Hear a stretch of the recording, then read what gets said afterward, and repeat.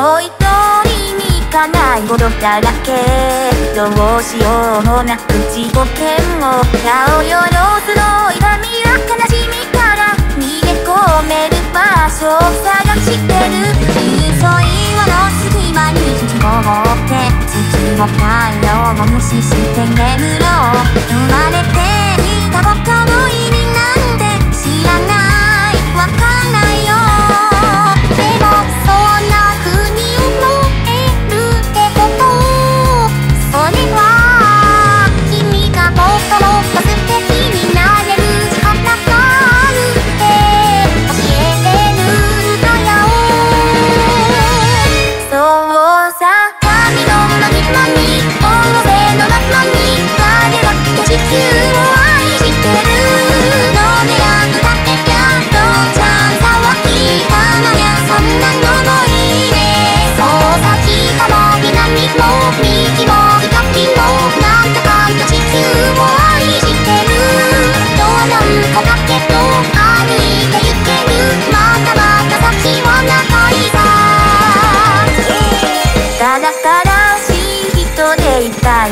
人だけもがそう願っているけど顔をよろずの心の醜